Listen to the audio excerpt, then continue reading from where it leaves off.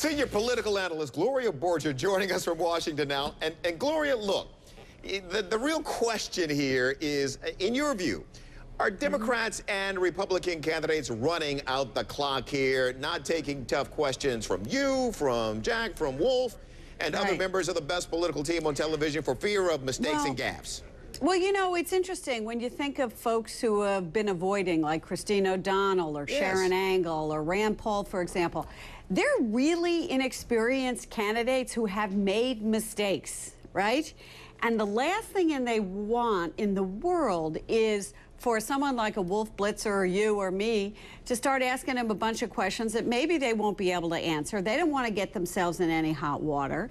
Uh, Rand Paul came out and did some national interviews, got himself in a heap of trouble.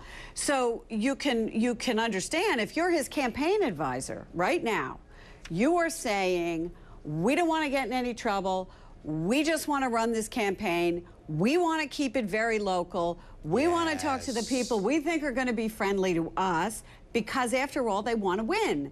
And they don't think that people like us are going to help them win. Yeah. Specter had been a Republican, right? Yes. And he had changed parties because he thought, well, the opportunity was there for him to win as a Democrat. And as you know, he didn't even survive his primary. So, you know, overnight is a lifetime in politics. Two years is a, is a lot longer. Yeah. And uh, the tables have flipped on the Democrats.